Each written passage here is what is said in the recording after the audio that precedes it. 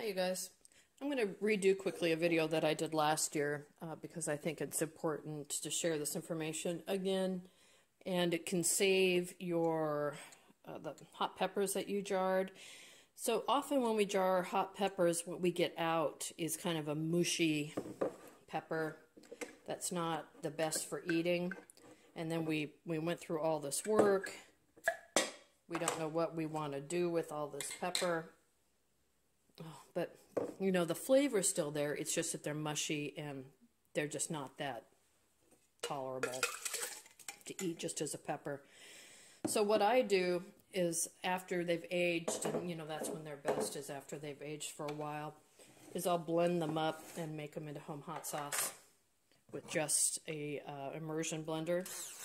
This is the little um, container that came with it, so I'm going to go ahead and just blend this up, and then I will um, sieve out any of the seeds, and then we'll put it into a container to enjoy as hot sauce. We have a lot of hot sauce here, and we have different hot sauces we like on different things, so um, we'll incorporate this into our hot sauce. So let me go ahead and mix this up, but I'm going to turn down the volume for you.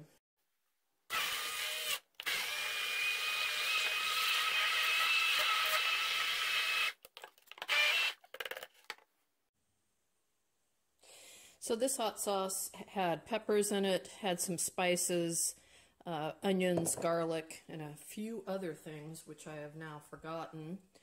Uh, but it makes a nice way to serve this, to save it, and um, it will keep for longer because it's got vinegar in it and probably has some salt in it.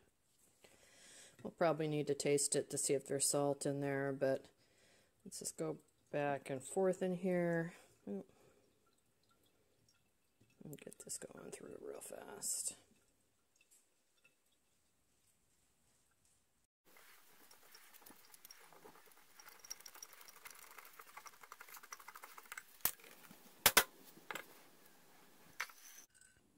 All right, so once it's all strained through and it nice and um, liquidy, if that's how you like it, if you like the chunks, go ahead and keep them in there.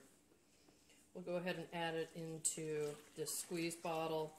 If you don't have one of these, um, just think about reusing a, another hot pepper bottle. Just take the label off if you want, don't if you don't. I mean, it's up to you. But this is a good way to easily reuse mushy peppers. Or if they're just too hot, you just can't eat them because they're so spicy, you can do this and thin it down with a little bit of sweetener, uh, water, vinegar, whatever you like. But that's how you uh, make hot sauce at home. And this will last in the refrigerator, I don't know, at least a month because of all the vinegar that's in there and the salt. Mm. But you'll figure it out. So, anyway, that about it.